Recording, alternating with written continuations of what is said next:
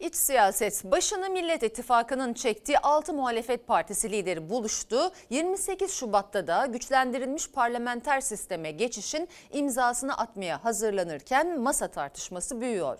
Cumhur İttifakı'ndan masanın gizli ayağı HDP çıkışlarına HDP eş başkanı Mithat Sancar cevap verdi. Parlamento seçimlerine Millet İttifakı girmeyeceğiz dedi. Bir masa tartışması da Ahmet Davutoğlu açtı. Cumhur İttifakı'nın da altı köşeli bir masa olduğunu söyledi.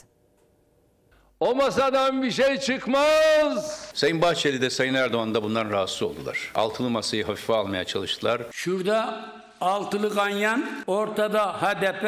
Bunların görünmeyen ayağı da ama mektupla görünüyor. İmral ayağı var. Muhalefet Cumhurbaşkanlığı hükümet sistemine karşı güçlendirilmiş parlamenter sistemi vaat eden altılı buluşmanın önce resmini verdi. 28 Şubat'ta da resmileştirmeye hazırlanırken siyaset karşılıklı suçlamalarla toz duman. İlk tartışma masadaki gizli ayak çıkışıyla başladı. Unutkanlığınıza geldi galiba. Hedefi niye almadınız ya? Onu da yanınıza alın. Parlamento seçimlerine Millet İttifakı ve o ittifakla girmeyeceğiz. Kendi ittifaklarımızı kurarak gireceğiz. Bizim üçüncü yol diye bir politikamız vardır. Yuvarlak masa olunca ayak bir. O da gizli ayak. Yani HDP. Karşımızda da bir altılı masa var. Herkesin birbirini iterek köşe kapmaya çalıştığı bir masa. Tartışmaların odağındaki HDP eş başkanı Mithat Sancar parlamento seçimleri için Millet İttifakı'nı değil üçüncü yolu işaret etti. Cumhur İttifakı'nın gizli ayak salvolarına karşı çizgiyi çekti. Yeni tartışmayı Ahmet Davutoğlu açtı. Cumhur İttifakı'nı da altı köşeli masaya benzeterek. Bizim öyle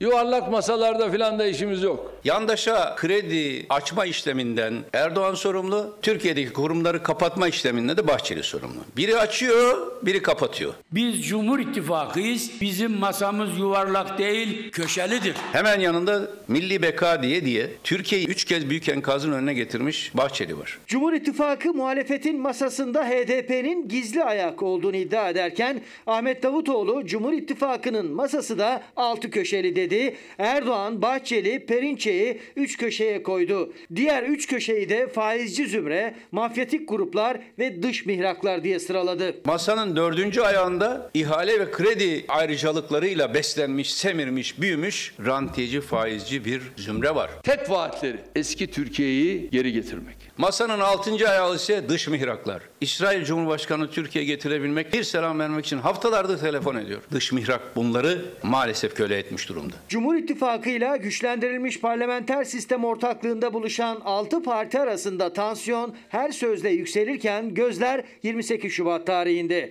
HDP parlamento seçimleri için muhalefetle ortaklığı reddetti ama ortak adaya kapıyı kapatmadı. Milletvekili seçimlerine ayrı gidilebilir ama Cumhurbaşkanlığı seçimlerinde ortak aday olmalı. Biz ortak aday fikrine açığız. Eğer ortak adayda anlaşılırsa biz destekleriz. Bu ittifakta yer almak değildir. 6 parti henüz Cumhurbaşkanlığı adaylığı sürecinde değil. İlk sırada güçlendirilmiş parlamenter sistem ortaklığı var. Cumhurbaşkanlığı adaylığında nasıl bir yol haritası çıkacak dikkatle izleniyor. Kimsenin sizi korkutmasına izin vermeyin. Biz buradayken din ve vicdan özgürlüğü asla tehdit edilemez. Kimse 28 Şubat üzerinden de yolsuzlukları örtemez.